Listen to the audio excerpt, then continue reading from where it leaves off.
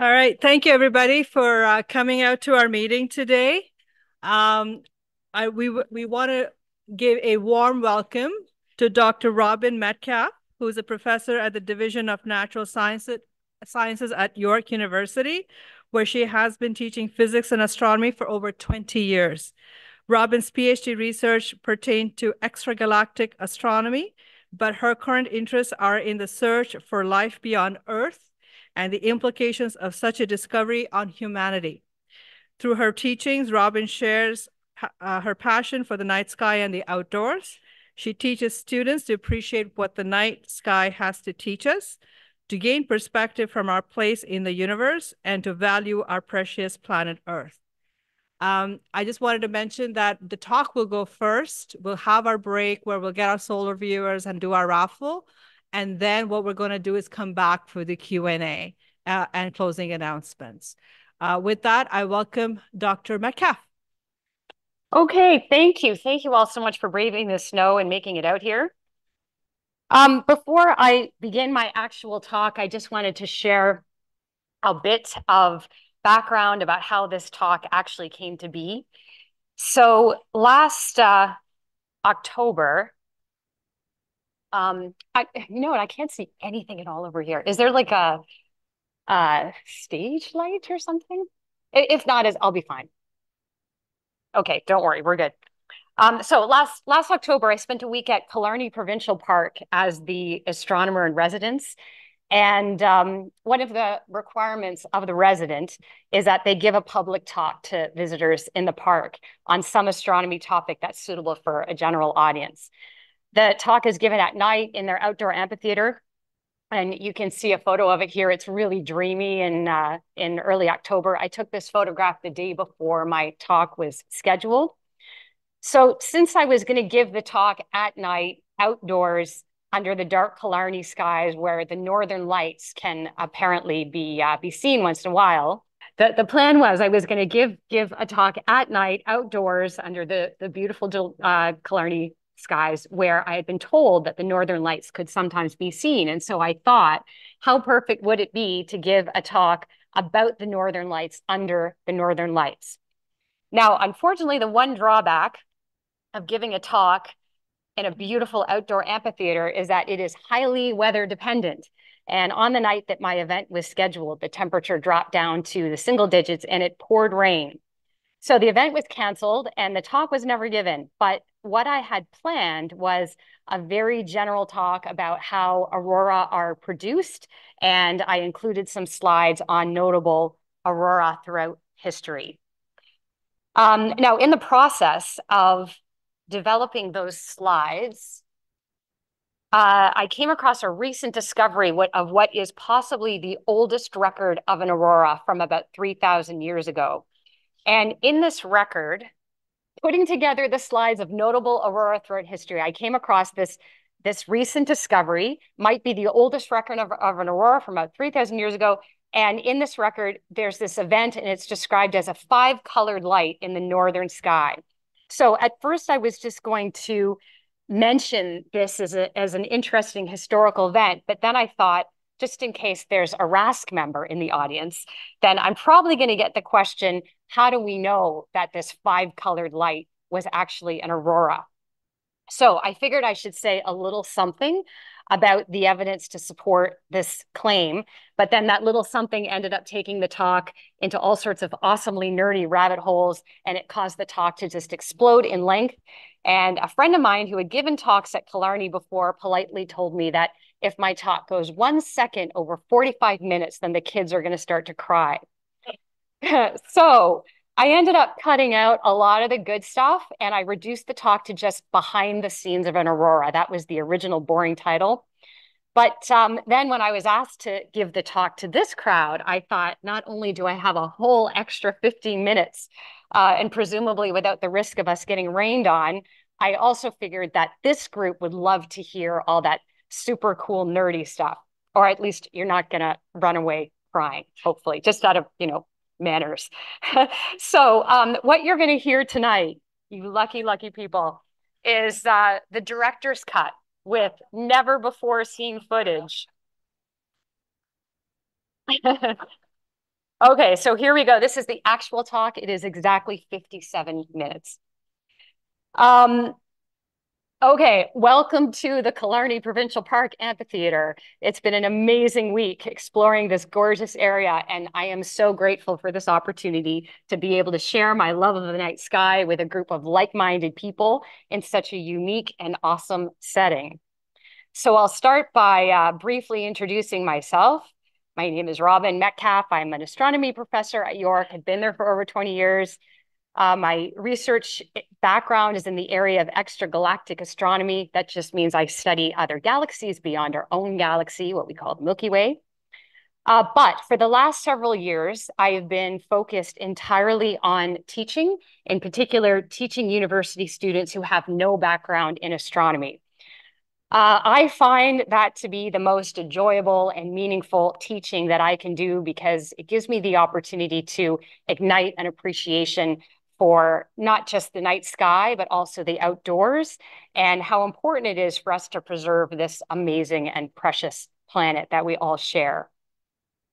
So what I'm going to talk to you about tonight is the awesome phenomenon known as the aurora, what we call the northern lights here in Canada. And I chose this topic because I've never seen an aurora. It's a top bucket list of mine. And I've been told that the northern lights can sometimes be seen from Killarney Park. And incidentally, that's where this photograph of the northern lights was taken.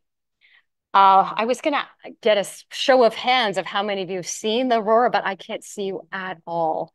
So if maybe you have better eyesight, I see a few hands. What, what do we think? Like 50% of us? Really? Oh, that's fantastic. Okay, you're all very, very lucky. So if you've seen an aurora, you were probably at a higher latitude than we're at now, maybe places like Northern Canada, Alaska, Iceland, or uh, the far southern latitudes, the tip of South America, maybe even Antarctica.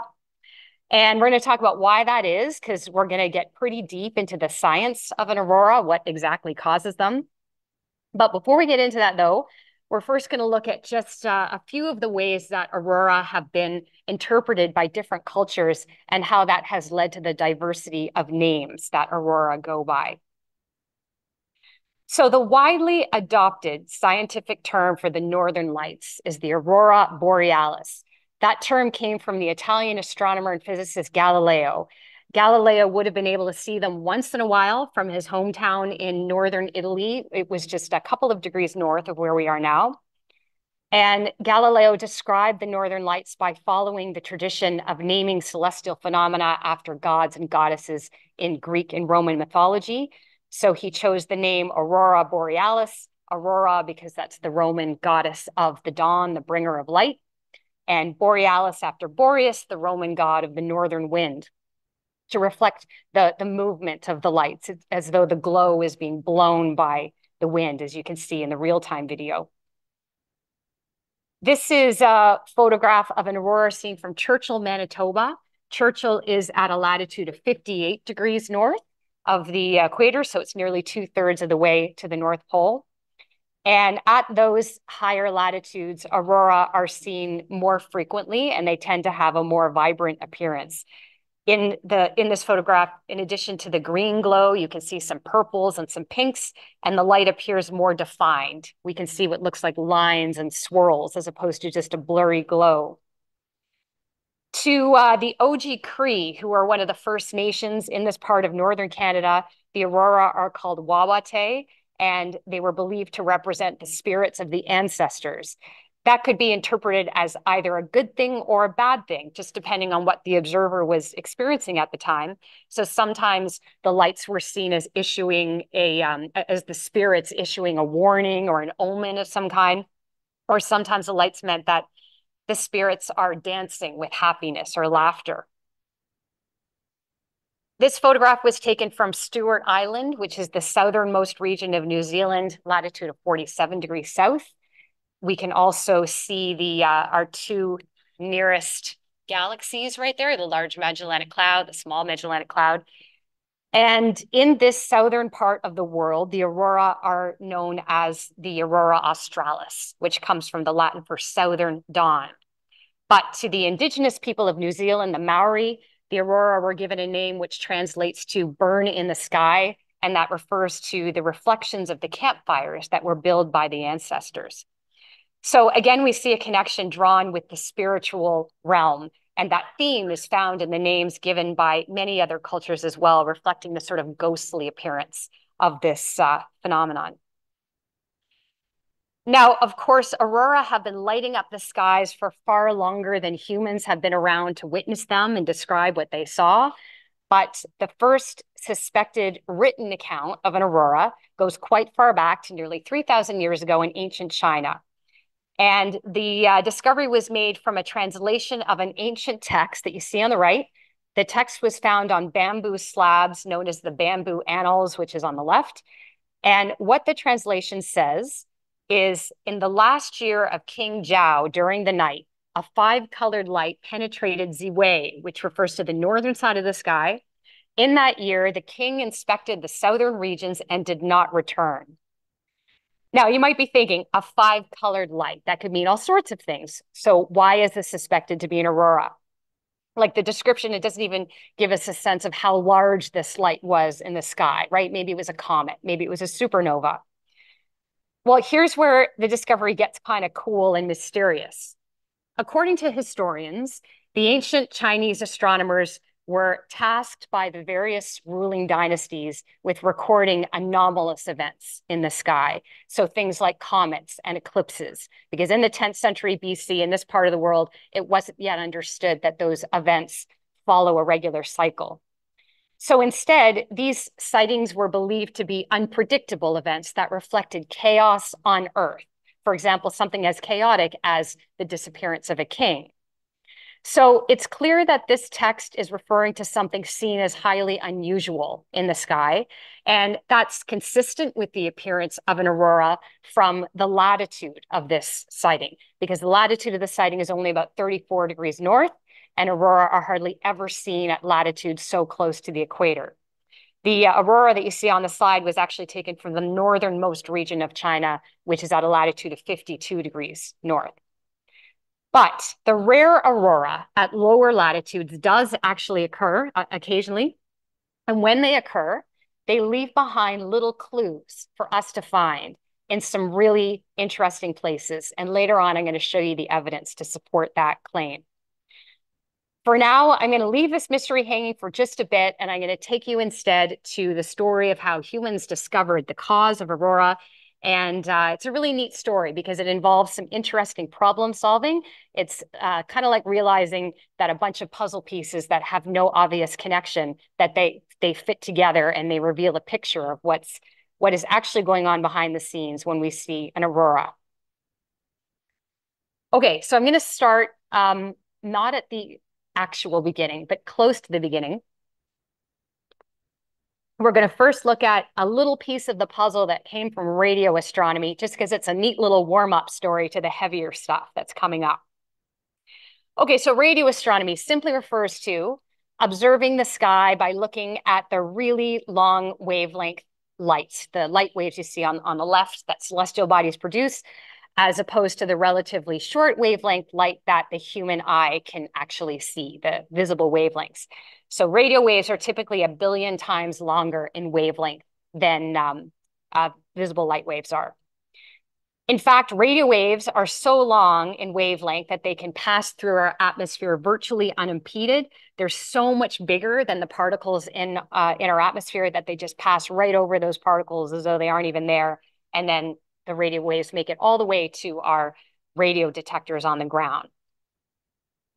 So owing to this ability of radio waves to easily pass through the atmosphere, they have a long history of use in the military dating back to World War II when radio waves were used to detect incoming enemy ships and aircraft. And a technique known as radar. But radar had one unfortunate weakness, which is that it's possible for the enemy to scramble or jam the incoming radio waves that are searching for them. And you can see that in this wartime illustration. So if these, uh, there's the mouse, if these warplanes are transmitting radio waves in a certain pattern, then those radio waves are going to interfere with the waves that are coming from the radar transmitters that are on the ground. And that will prevent anti-aircraft guns from being able to accurately pinpoint where the warplanes are coming from. So in 1942, after a series of incidents in which German warships used radar jamming to make it through the English Channel undetected, a British radar operator named Stanley Hey was tasked with developing anti-jamming methods. And what Hey did was he studied the jamming patterns carefully, and on two days in February of 1942, he received reports of a particularly severe jamming signal. And the signal had the curious behavior of seeming to follow the motion of the sun as the sun moved westward across the sky throughout the day. Now, that could have just been a coincidence, but Hey decided to investigate whether anything interesting was going on with the sun on those days. So Hey contacted the Royal Observatory in Greenwich, England, where astronomers observe the surface of the sun every day. And here is what Stanley Hey learned the Royal Observatory reported that on the days in question, an unusually large sunspot, uh, sorry, a large spot was seen on the surface of the sun. We call those sunspots. And in this slide, you see a photograph of sunspots taken from Killarney Park Observatory. So Stanley Hey had made the connection that sunspots emit radio waves, which we receive here on Earth. Three years after Hey's discovery in 1946, a group of Australian radar operators reinforced Hey's findings using a new technique which enabled them to produce an actual image of the sun in radio light. And they were able to show that wherever we see sunspots in visible light, we see intense radio emission at the same locations as the sunspots. So on the slide, these are recent photos of the sun taken at the same time. We have visible light on the left radio on the right, showing the clear connection between sunspots and radio emission. Hey's discovery was essentially the beginnings of radio astronomy. This was the first time that radio waves had been connected with an object beyond Earth.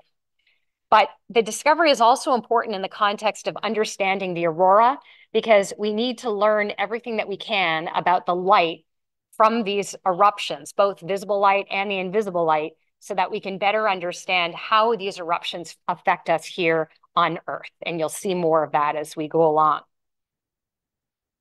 Now, one quick and, and somewhat mind-blowing thing about these sunspots before we move on to a different part of the story is that when you look at photographs like this of sunspots, it's hard to get a sense of how big they actually are because they seem kind of small relative to the surface of uh, the sun.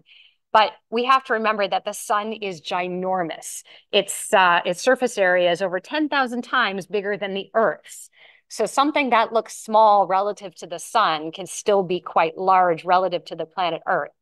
And to give you a sense of that, here's a zoomed in photograph of sunspots taken by NASA's Solar Dynamics Observatory. It's a space telescope in orbit around Earth. And uh, the Earth has been added to the image for comparison, drawn to its actual scale and you can see that some of these sunspots are the size of our entire planet, right? These, they are the size of worlds, basically. Okay. Uh, let's move on to an earlier and much larger piece of the aurora puzzle, to a discovery made in 1908 by an American astronomer named George Ellery Hale. Hale was able to show by looking really closely at the behavior of visible light around sunspots that sunspots are magnetic, meaning that if we had an enormous horseshoe magnet and we held it to a pair of sunspots, the magnet would stick to the sunspots. And that discovery told us that the sun has a magnetic field. It is in itself a giant magnet.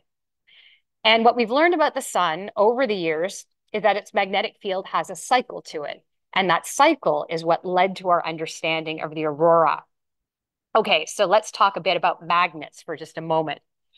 Way back in elementary school or high school, you might recall seeing an experiment in which tiny bits of iron are poured all over a bar magnet and instantly the iron bits will redistribute themselves into a pattern that reveals the, uh, the magnet's magnetic field. So we see these curved lines, they begin at end and, and end at each end of the pole, uh, of the poles and that at the poles, the iron bits are most concentrated because that's where the magnetic field is the strongest.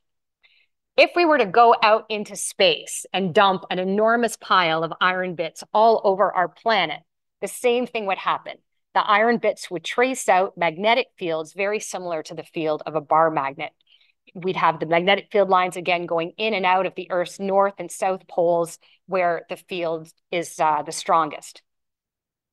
And why is that? Where does the Earth's magnetic field come from? It is generated by Earth's spinning liquid iron core. That core is essentially a giant bar magnet, and the field around that magnet extends well beyond our atmosphere. Okay, so what about the sun's magnetic field? What does its field lines look like? Well, given that the Earth's magnetic field is generated by the rotation of its liquid core, then one clue as to the sun's magnetic uh, field must come from its spinning motion as well. And in fact, when we measure the rate at which the sun rotates around its own axis, we find a big clue to its magnetic field, which is this. If we monitor the sun from hour to hour, we're going to see that its sunspots move, as you see on the slide, simply because they're moving with the sun's rotation. So by tracking the sunspots and measuring how long they each take to traverse the sun's surface, we can get at the sun's rotation speed. When we make that measurement, we find something really interesting that depending on the latitude of the sunspot, so how far they are from the sun's equator, the rotation period changes. The, closer the, the closer the sunspots are to the equator, the faster the sun's rotation period. So you can see that here, that in the line right above the equator, if there were sunspots there, they only take 25 days to get all the way around the sun, whereas up near the poles, they could take as much as 35 days to get all the way around. So what this is telling us is that the sun is composed of gaseous layers that spin at different speeds. And this is known as differential rotation. This is unlike our planet Earth. Earth is mostly solid. That gives it a much simpler rotation. So the Earth spins at basically the same speed everywhere. Okay, so you can imagine if you start with a spinning bar magnet and then you slice it into layers with each piece spinning at a different speed, then those magnetic field lines are going to get messy. The lines at the equator are going to move faster than the lines at higher latitudes. That's going to cause the lines to skew. And eventually, the lines at the equator are going to start outlapping the lines at higher latitudes. Over time, that's going to cause the lines to get all twisted up. They're going to push and pull on each other with such ferocity that some of those magnetic field lines are going to get pushed right out of the sun's surface and they're going to make these loops that go in and out of the sun. And you can see that in this computer generated illustration.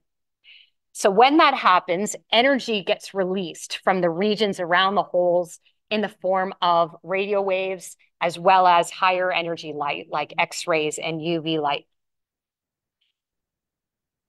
Oops one sec. Okay so these days we can actually see that happening even though X-rays and ultraviolet light from space can't penetrate our atmosphere, we've got telescopes into space which, which can see at those high energy wavelengths. And here's an example. This is an ultraviolet photo of the sun taken from space by NASA's Solar Dynamics Observatory. And you can actually see how the ultraviolet light traces out those magnetic loops poking in and out of the sun, owing to charged particles from the sun's surface being dragged through those loops, causing them to radiate. So it was that behavior of light in around the sunspots that Hale had detected in visible light, leading him to make the connection between sunspots and magnetism. So at these high energy wavelengths, as well as in the radio, at the entry and exit points of the loops, we see these bursts of intense light. We call those solar flares. Whereas when we look at the sun in uh, close-up invisible light, we see that those high energy bursts of light coincide with the dark sunspots. And uh, as you can see on the slide, and the reason why those spots appear dark is because those strong magnetic um, them strong magnetic fields in those regions, they tend to disrupt the flow of heat. And so you can see like the, the convection of heat going on below the surface of the sun and those field lines are getting in the way. So that causes the the regions of the sunspots to cool down and not glow as brightly as uh, the rest of the sun. Just like when a stove element cools down and it and it um, goes loses its orange glow and it turns black. Uh, but when I say cool down, that's in a very, very relative sense because in these regions around sunspots, we're still talking about temperatures of like 4,000 degrees Celsius, uh, which I guess is cool compared to the rest of the sun, which is closer to 6,000 degrees Celsius. But still, uh, sunspots are, you know, too hot to touch, obviously.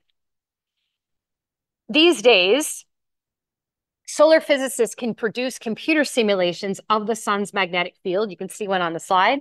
And what we see from these simulations is that the sun's differential rotation creates this crazy, distorted mess of magnetic chaos. But underlying that chaos, the cause of it is a very orderly process in the sense that the rotation speed of each of the sun's layers, they might vary with latitude, but they don't change with time. Each layer rotates at a constant speed. And so that means that there must be a pattern to the chaos. There has to be a cycle in which, after a certain number of years, the magnetic field lines get all wound up and then they unwind before getting all twisted up again. A simple way to look for that cycle is to track the sunspots. Because if sunspots are caused by the sun's magnetic field getting all wound up, then if the winding follows a cycle, then we can expect that the number of sunspots is going to follow a cycle as well. When the sun is most wound up, we can expect to see more spots and vice versa. So that's exactly what was found by a German amateur astronomer named Heinrich Schwabe. Schwabe counted the number of sunspots seen over a period of around two decades from the 1820s to the 1840s and found that the frequency of sunspots follows an 11 year cycle.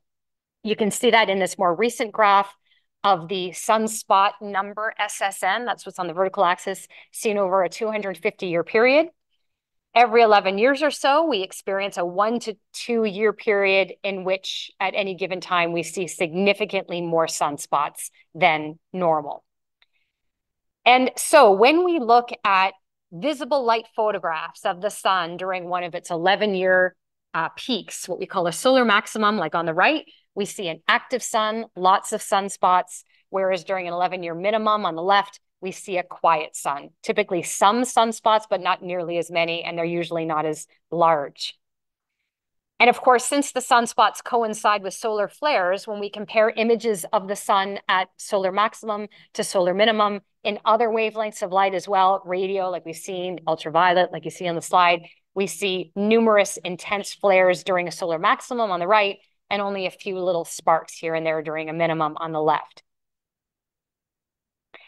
Okay, so we've now seen that um, the sun can get quite stormy with its sunspots and flares. So let's now see how this activity affects us here on Earth.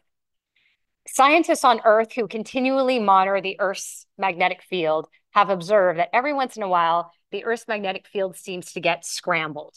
And you can see a graph of this. So normally the strength of the Earth's magnetic field is pretty steady, but then sometimes it kind of gets all out of control, right? If you happen to be looking at a magnetic compass at that same time, you would see that the compass needle would suddenly go crazy, no longer able to find the Earth's North Pole until the Earth's magnetic field uh, settles back down to normal those fluctuations in the Earth's magnetic field, they're always going on, but they're typically pretty small, so small that your compass doesn't detect them. But sometimes we'll go through periods where the fluctuations are more frequent and they're more noticeable. In the 1850s, it was found in the records of these, these uh, magnetic storms over the decades that there is a cycle to their behavior. And not just any cycle, but a roughly 11 year cycle. And uh, an 11 year cycle that pretty closely coincides with the 11 year sunspot cycle. So you can see that on the graph. The blue bars are the number of geomagnetic storms, and uh, the red lines are the number of sunspots. And you can see there's a pretty good correlation that wherever you see a peak in the blue bars, you see a peak in the, in the red lines as well. That connection between the Earth's magnetic storms and sunspots made it clear that the sun's stormy periods are affecting us here on Earth, 150 million kilometers away. So something is coming out of those solar flares besides light to be able to distort the Earth's magnetic field. And so by combining what was learned about the sun's magnetic field and the emissions from the sunspots, the underlying physical process emerged, which goes like this. When the sun's magnetic field lines poke out of the sun, the sun releases solar flares in addition to charged particles, electrons and protons. In fact, the sun is always ejecting charged particles. We know that because they were detected by a, a Soviet spacecraft in 1959. And we call that the solar wind. But when they come from sunspots, they are ejected in particularly intense bursts that we call coronal mass ejections or CMEs. So those bursts of charged particles or plasmas, they shoot off in all directions, but some of them, uh, some of those bursts head toward the Earth. And what we know about charged particles is that they are essentially tiny bar magnets, simply because they are spinning charged particles. So they're they're they're spinning electric fields, and when electric fields spin, they generate magnetic fields. So when a plasma hits the Earth, it's just like dumping a bunch of iron bits on our planet the charged particles get caught in the Earth's magnetic field lines. They get pulled down toward the Earth's poles because that's where the Earth's magnetic field is strongest. And at the same time, the magnetic fields of those charged particles, they cause the Earth's magnetic field to distort. And that's what causes those geomagnetic fluctuations that we measure here on the Earth. So finally, we can put all the pieces together and see what that has to do with aurora as the charged particles from the sun are pulled into our atmosphere, particularly at the poles, they collide with the atoms in our atmosphere, atoms like oxygen and nitrogen. And as a result of those collisions, the atoms get excited. They gain energy from the charged particles. But then over time, the atoms run out of steam. They calm down back to their, their normal state by giving up the energy that they gained. And that energy is emitted in the form of light waves. So that's the light that produces an aurora. As for the different colors of an aurora, it's because different atoms emit light at different colors when the atoms de-excite. And you might have seen this done, or maybe you've done it yourself in a science lab where you're given a sample of sodium or calcium powder and you put it in the flame of a Bunsen burner to heat it up. That excites it, excites the atoms. And you observe that as the atoms de-excite, that the different substances turn the flame different colors. Similarly, when charged particles from the sun excite the different types of atoms in our atmosphere, those atoms will also emit different colors when they de-excite. So for example, the nitrogen gas in our atmosphere, it, will produce some reds, some blues. The oxygen gas will produce green colors, or at higher altitudes where oxygen is less dense, it will actually produce a reddish glow. And so when you've got all this going on at the same time and there's some mixing, you can end up with the amazing variations of color that we see in the aurora. One thing to note though, is that people who have seen aurora will most commonly report that they appear whitish. And this is just because our night vision isn't as good at discerning individual colors as the detector in a camera. So all those really colorful photos that we see, the, the photos do in fact match the colors that are being produced in the atmosphere, but the human eye just tends to perceive those colors less vibrantly. Uh, I've been told though that what the photos or even the videos can't capture from the in-person experience is the this sort of eeriness or the surreal quality of being surrounded by all that like fluid luminescence. So since aurora are caused by solar activity, they have the same 11 year cycle as the sunspots and the geomagnetic storms.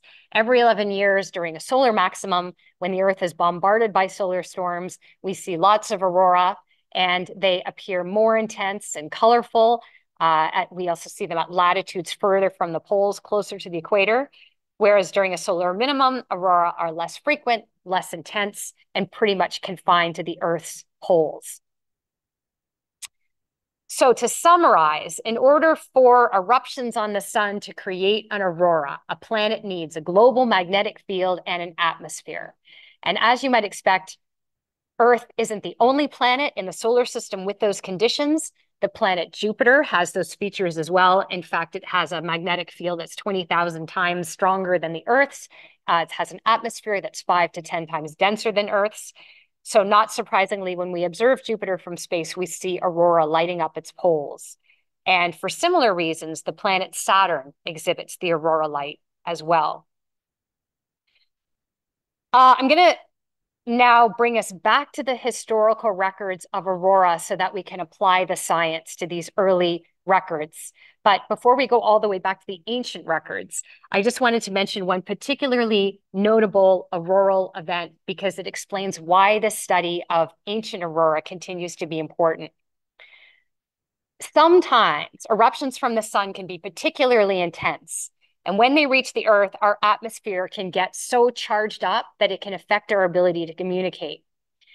Uh, this is even more of an issue today with our reliance on, on satellite communication, but even prior to wireless communication, there are records of strong geomagnetic storms that affected power and communication lines. And a particularly famous incident happened in September 1859. So this has been named the Carrington event after a British, a British astronomer who reported a very bright solar flare on September 1, 1859.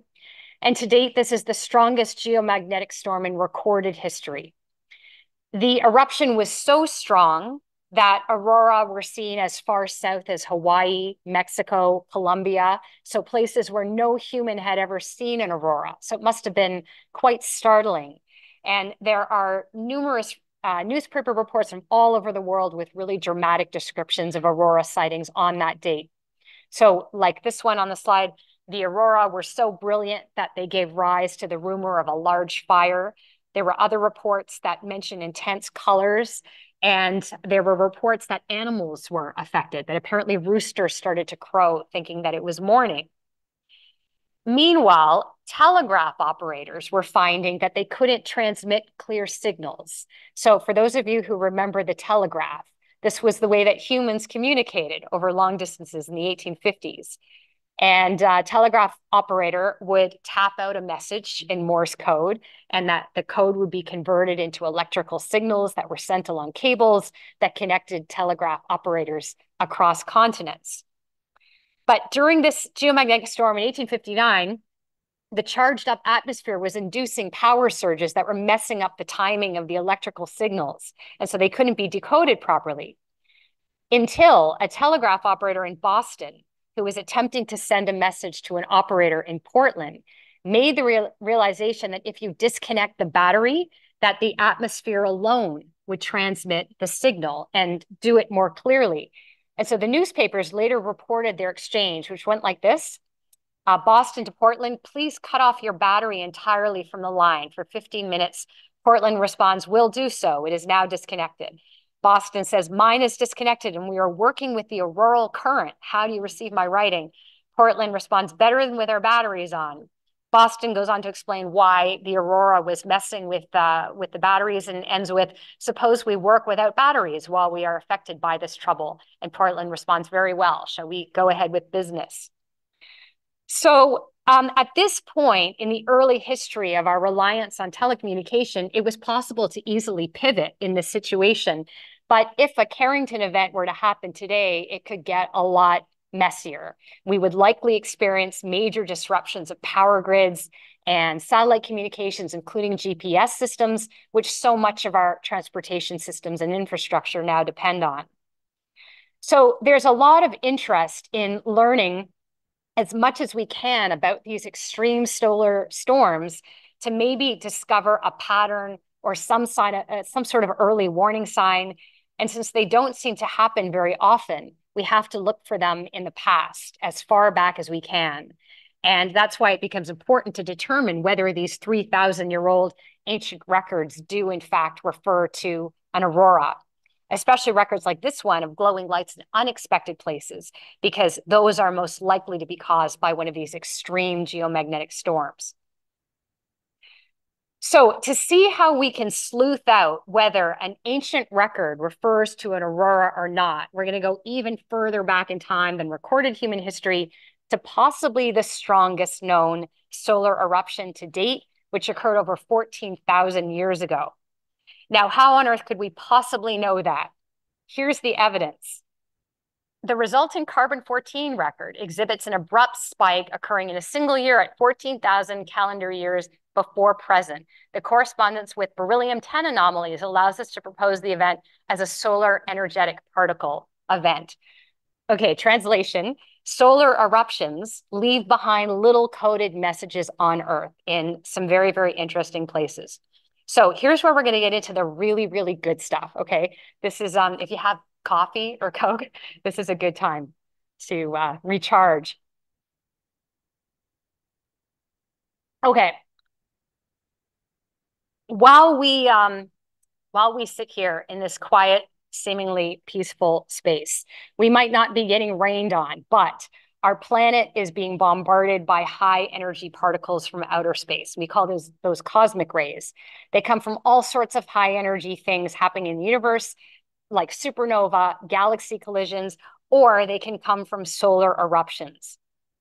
In high enough amounts, cosmic rays are dangerous for humans. They are high energy radiation capable of damaging human cells, but the Earth's awesome magnetic field deflects most cosmic rays, and those that make it through will interact with particles in our atmosphere, and that causes them to weaken in intensity and kind of fizzle out as they uh, get lower in our atmosphere. So cosmic rays don't really have much effect on humans unless you fly a lot mean, even if you do, your elevated dose of cosmic rays is so low that there doesn't seem to be a definitive connection between frequency of uh, air flight and cancer. Okay, so that's just one less thing to, to worry about. Anyway, when cosmic rays interact with molecules in our atmosphere, chemical reactions take place in which the products can be radioactive. So you can see an example on the slide. This is the production of the cosmogenic radioactive isotope carbon-14. Cosmogenic simply means produced from cosmic rays. And uh, radioactive atoms can come in very handy because they enable us to do something called radiometric dating, or in the case of carbon-14, it's more commonly known as carbon dating.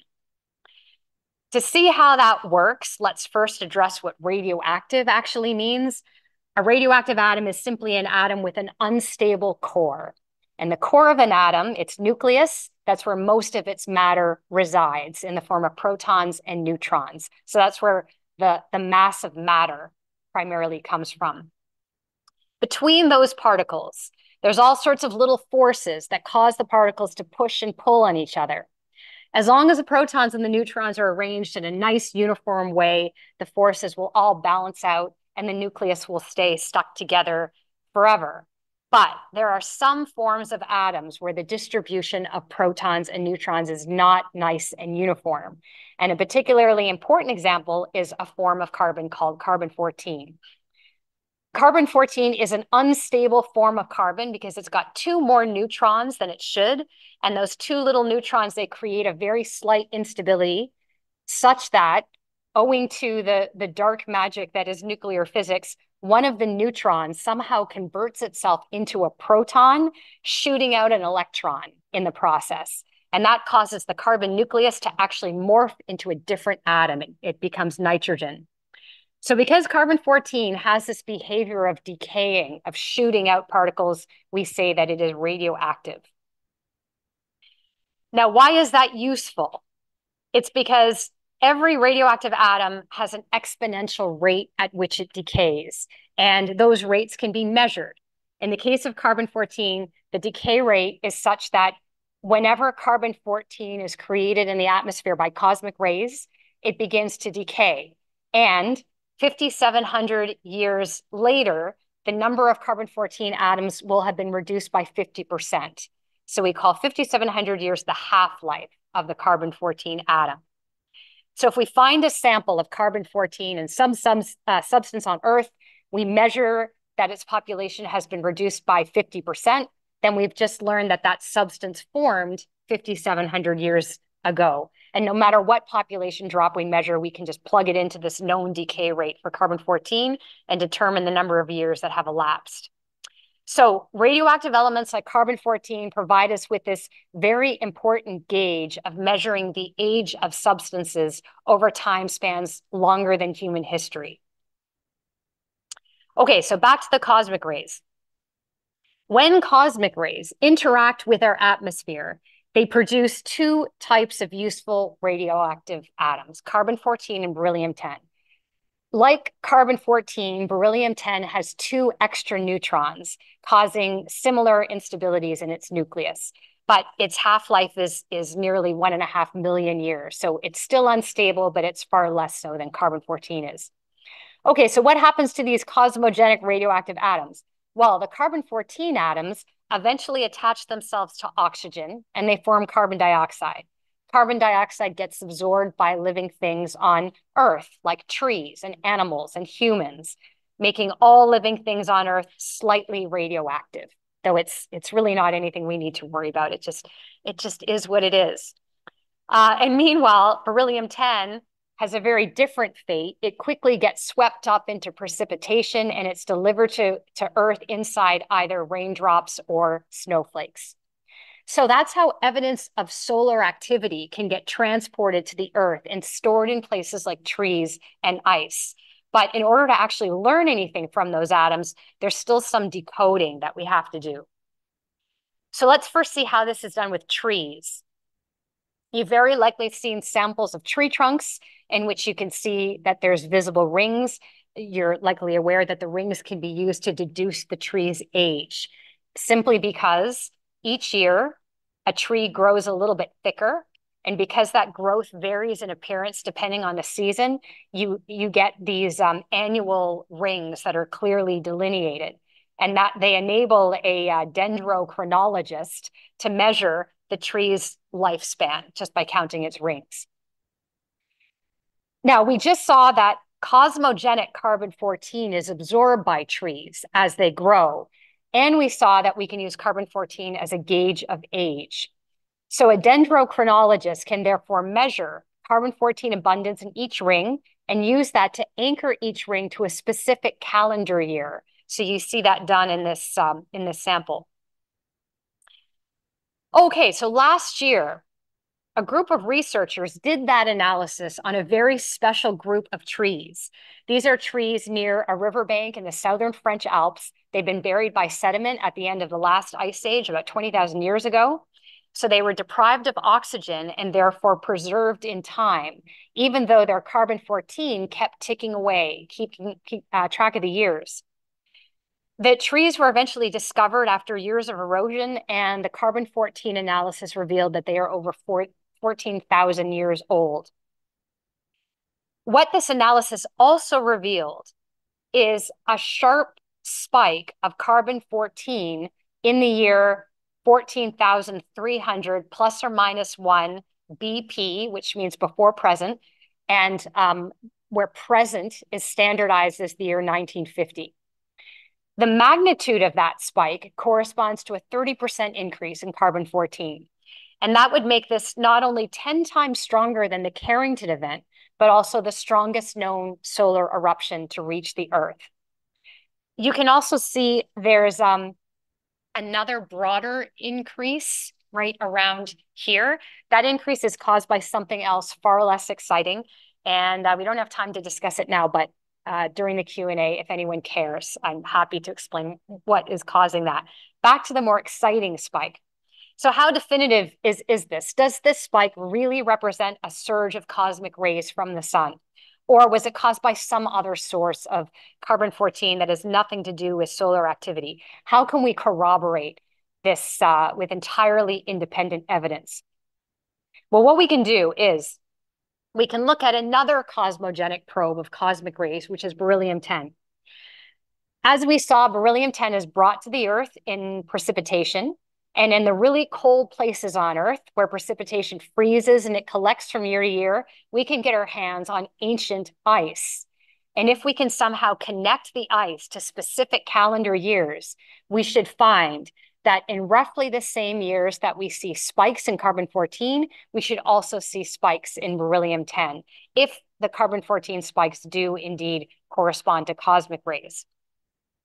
Okay, so let's see what the ice tells us every winter in the really cold places on our planet, so places like Antarctica and Greenland, it snows.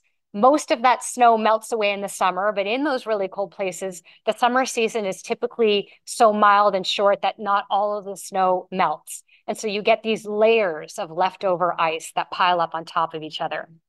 And each of those annual layers contains information about the state of our atmosphere at the time that the snow melted. So scientists have drilled deep into those ice deposits and they've pulled out cores of ice that are nearly three kilometers in length. And from those cores, they can reproduce the atmospheric uh, conditions of our planet out to nearly a million years ago. So the study of those ice cores is known as paleoclimatology. The way that data is extracted from ice cores is extremely cool. Just like with the tree rings, the number of layers can tell us roughly the time span of a particular ice layer. But if we want to con uh, connect a layer to a specific calendar year, then we need, like the tree rings, we need some way to anchor the layers to real time. Amazingly, the cores themselves contain that information. And you'll have seen this for yourself if you've ever hiked inside of an ice cave. So see those black layers in the in the ice? Those are ice layers that formed during a year when a volcanic eruption occurred.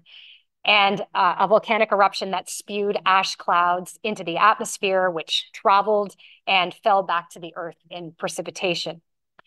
And since we know the specific years of the Earth's major volcanic eruptions just by dating volcanic rock, those black lines are like a chronological ruler that are embedded inside the ice core.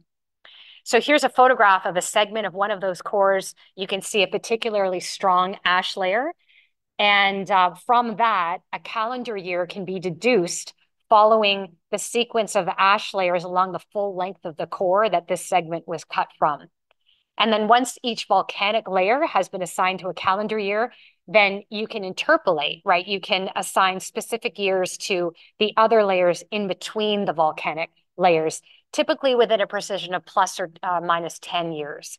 So the resolution of this method, it's not as high as you can get from tree rings, but it's still high enough to capture any really dramatic events in the atmosphere that might have occurred in a particular decade. And we've learned so much from these ice, ice cores. Uh, if I can just make a very quick digression, this graph is a really important example. By measuring carbon dioxide levels in air bubbles trapped inside ice cores, we can determine carbon dioxide levels in our atmosphere back to hundreds of thousands of years ago. And what that reveals is that there, there is a natural cycle to carbon dioxide in our atmosphere. You can see that on the slide. Uh, and that cycle actually correlates with the ice age cycle. But if you take a look at the onset of industrialization in the mid 1900s on the right side, you see a spike in carbon dioxide never seen before in this uh, over this time span. And that essentially proves that the current increase in carbon dioxide in the atmosphere is our fault.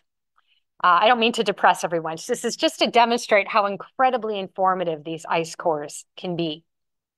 Okay, so what do the beryllium-10 levels tell us? Well, using an ice core drilled out of Greenland in 2005, paleoclimatologists have constructed the history of beryllium-10 levels out to 60,000 years in the past.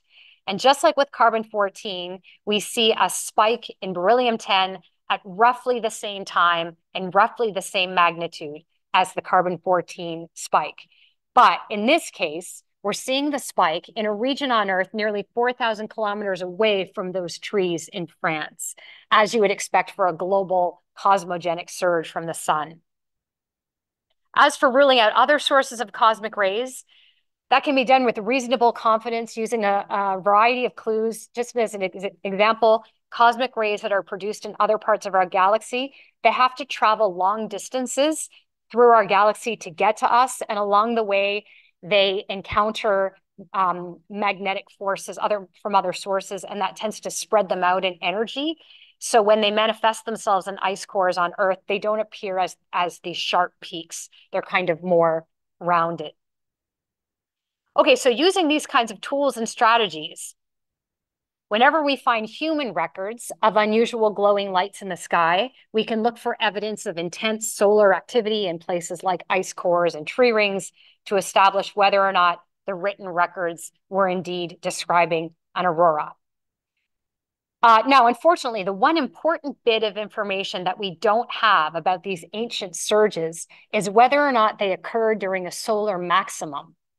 The 11 year cycle, it's just not precise enough that we can count backwards to thousands of years ago. We can use cosmogenic radioisotopes to track the solar cycle, but as you get further and further back in time, the carbon 14 and the beryllium 10 measurements, they get so noisy that the 11 year cycle just gets kind of lost in the noise. And that makes it difficult to pick out anything other than these surges uh, with any reliability. But what we do know from records of more recent surges is that they have occurred during solar minima. It turns out that a quiet sun doesn't mean it's entirely inactive. It can still stir and snore once in a while. For example, in May 1921, a strong geomagnetic storm was reported to have caused all sorts of electrical problems on Earth.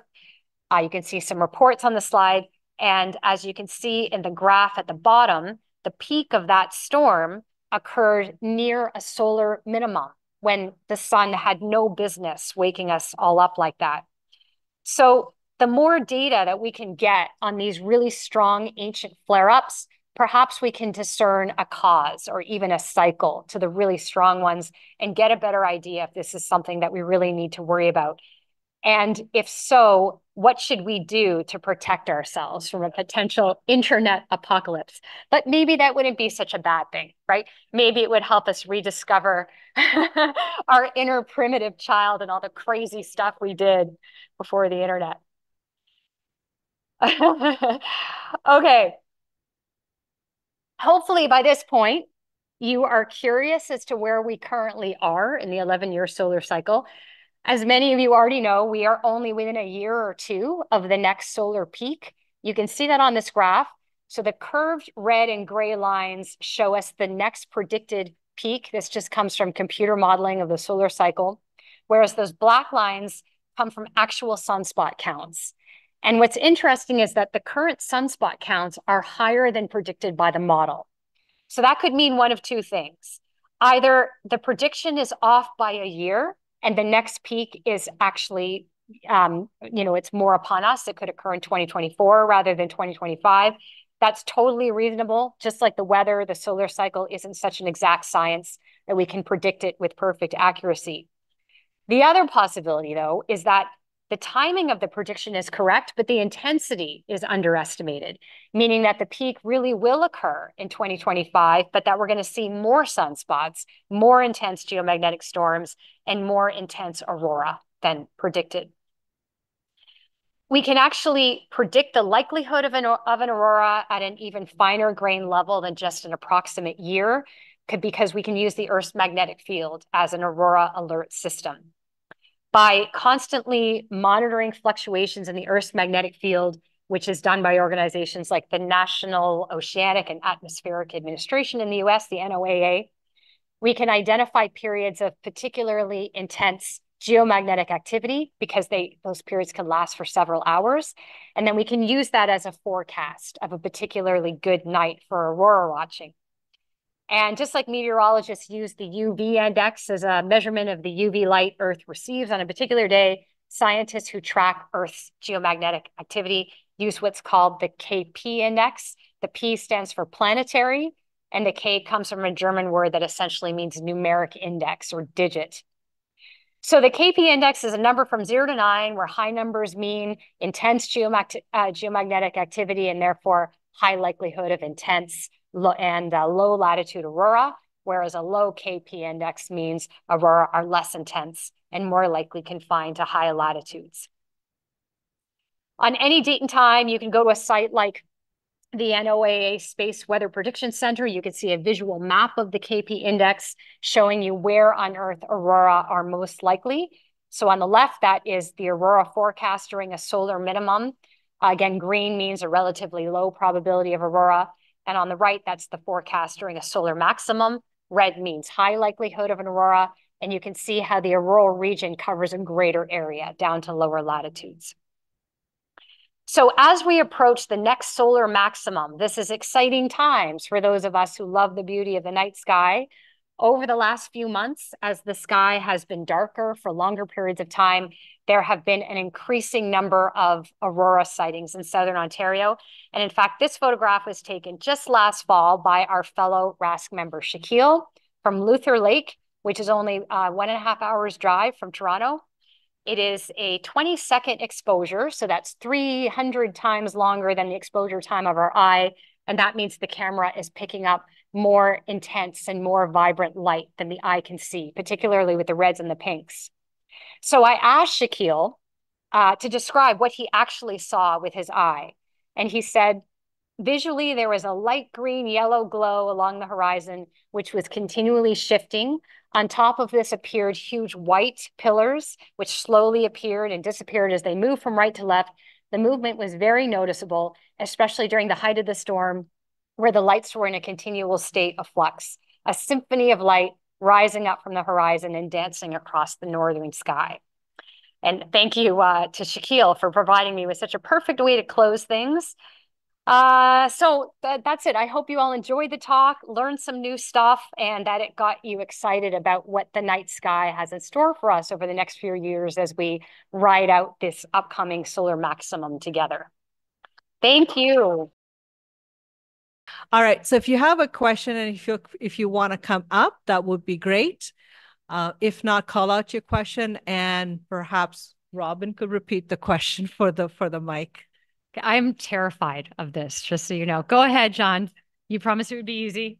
Wonderful talk, Robin. Thank you so much. Okay, I loved how you tied all of that together. Um, anyway, my question is probably more of a physics question than an astronomy questions. And whenever uh, I kind of understand how magnetism works and whatever. And we see the lines uh, around any magnet, the Earth, the sun, whatever. I'm just wondering why there actually are lines and what's in between the lines. Is there no magnetism, less magnet? And if you feel that that's out of scope for this talk, no. just maybe tell uh, tell us where we can go and uh, learn about that, where you know something in my level can actually understand it. Okay, right. that's my question. Okay. Thank you, John. That's a great question. Um, uh, it's not that there's empty space in between those lines. I mean, it's kind of continuous. It's just that when you know when you when you try to represent it in a diagram, you can't draw zillions of lines all over the place. But um, although having said that, when I think of those iron uh, those iron bit experiments, you do get spaces, right? Yeah. Why is that? yeah. I have no idea. And the, and the thing is, is like, are they constant? If you did the exact same experiment uh, on, you know, would you get the exact same empty spaces in the same spots? I, I don't know. That is a really good question. Maybe I'll, you know, if only I had a device where I could ask it any question in, in the universe. Maybe we'll try that after and see what what the internet has to say. But interesting to think about. Eh, I was going to ask the short version, but now that I'm mic'd up, I can go on the long. Go nuts. The Keith, a long question. Go figure it. So the event that occurred 14,000 years ago, one of the things I like about physicists is how mathematically they can sort of decide whether something can happen or not. So because that event was, you mentioned, 10 times greater than anything else that's ever been recorded, is it possible that was non-solar system related, not sun related, mm-hmm. but something extragalactic, let's say? Right. Okay. So the um, cosmic rays that we get from other sources like uh, uh, supernova, sometimes colliding black holes and that kind of stuff. So they are tend to be stronger actually than the um, the bursts that we get from the sun. But um, what happens is, you know, they're coming from longer distances and they have to travel through either our galaxy or whatever galaxy they came from. And they encounter all these other magnetic pulls and pushes as they pass through. And that tends to spread out the peak. And so that's what makes it discernible from that sharp peak that we get from the sun. So we do get really strong, you know, like gamma ray bursts and stuff like that. But um, it doesn't have the same profile as uh, the solar bursts do. But you're measuring something 14,000 years ago. You mentioned the resolution was plus or minus 10 years. So anything, something right. that was five years in duration would appear to be a sharp peak at that level of resolution. Right. So plus or minus 10 years in the beryllium, but only plus or minus one year in the carbon. Yeah. And it has a very distinct profile where it shoots up very suddenly within a year and then that seems to be what defines those kinds of events. On the uh, KP scale, uh, where would the Carrington event be? Would it be a nine or off the scale and something uh, even higher than that? Yeah, interesting. I guess it, it's a nine only because I don't know, like, is there a, an actual mathematical formula for where the KP comes from? I, I don't know. Maybe someone else knows that. I, I like I don't know what defines the different levels, but if nine is the highest, then it would be a nine. Okay. No, because then you won't get mic'd. I'm going to ask one on the way over. uh, and that is uh, sunspot cycle. Um, you you pointed out sunspot cycle roughly 11 years, but there were have been a number of periods like the Maunder minimum and Right. the Dalton minimum where uh, they they were missing almost for extended periods of time. Um, is there any uh, known rationale for those? And is there any correlation? Is there a similar correlation to um, the effects that we see on Earth from sunspots and stuff, where they were uh, it was substantially reduced?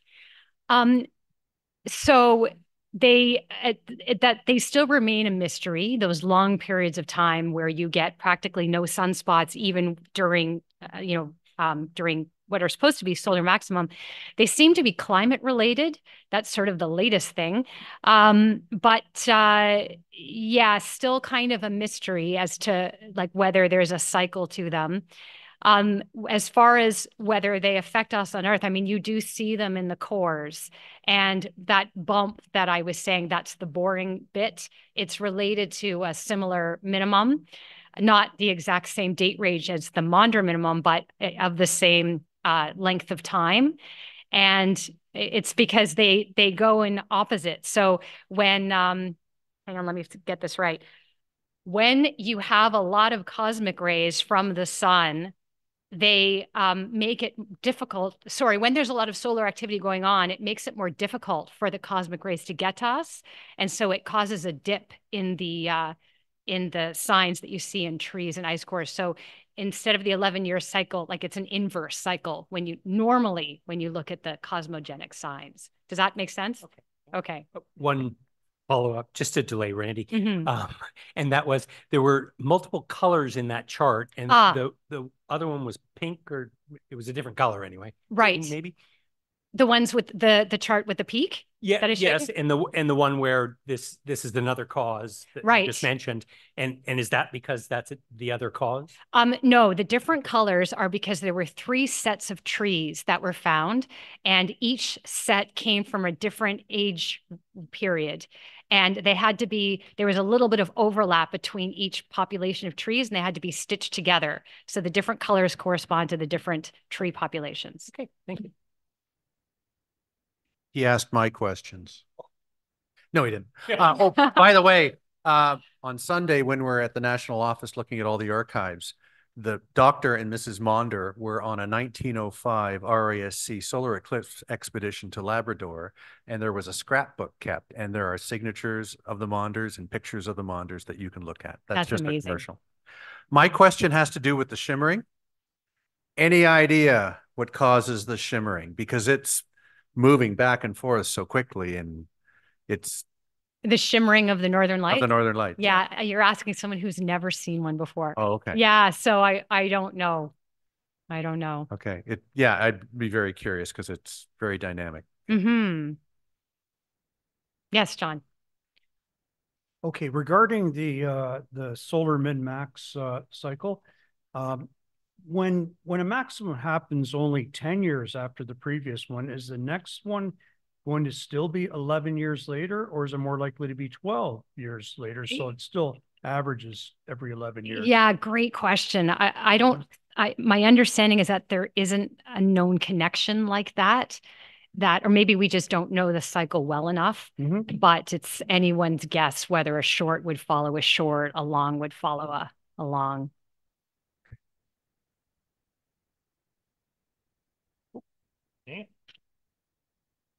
And forgive me if this uh, was already asked or answered. uh, okay. But, um, so we know that there is a solar cycle. Do we know why there's a solar cycle? Like, what's the you know, physical reason. Right. Um, so the physical reason would be that there's um like it, what it's I was talking before about how the layers they um you know there's different layers in the sun and they're each are spinning at their own cycle right? Like the innermost layer the equatorial layer 25 days you get higher up to the poles it's 35 days.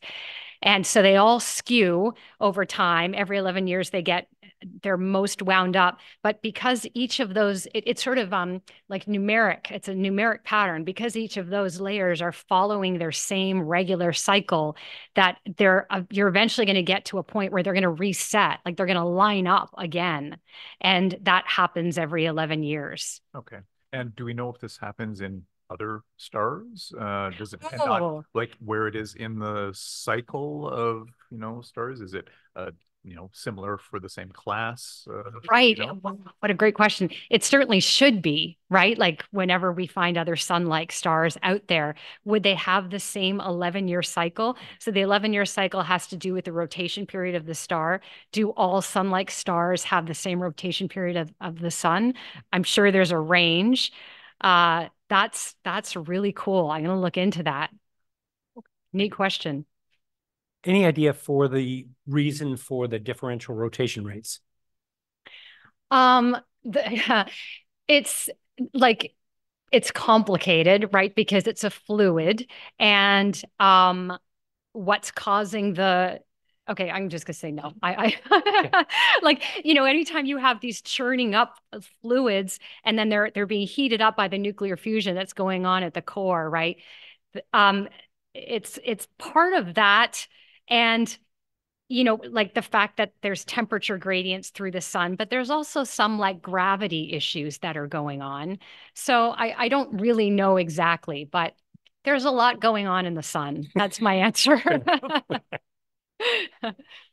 How many layers there are in?